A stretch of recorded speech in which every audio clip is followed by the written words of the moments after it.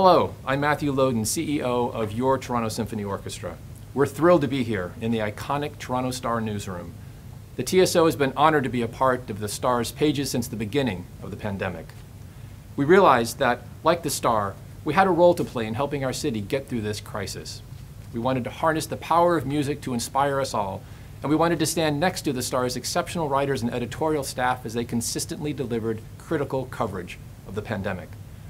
So we are here today to celebrate the talent, passion, and craft of the Toronto Star team as we navigate these unusual times together. This performance is dedicated to every one of the extraordinary journalists who continue to tell the stories of our city, our nation, and of the world. Special thanks to Jordan Bitove, Paul Rivette, Irene Gentle, and to the entire Toronto Star team for their service to our great city. Enjoy this excerpt from Vivaldi's Four Seasons, led by our concertmaster, Jonathan Crow.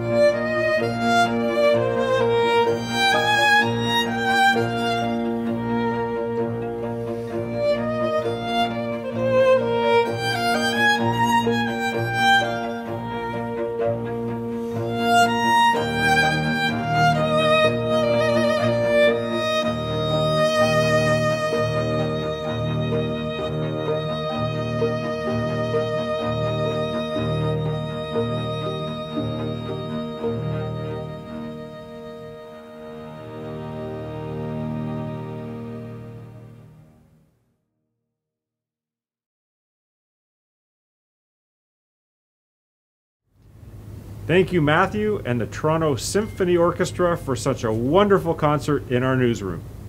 2020 has been a very challenging year, but we hope that today we brought some joy to you and your families. So, on behalf of Paul and I and the entire Toronto Star organization, we want to wish you the best of the holidays.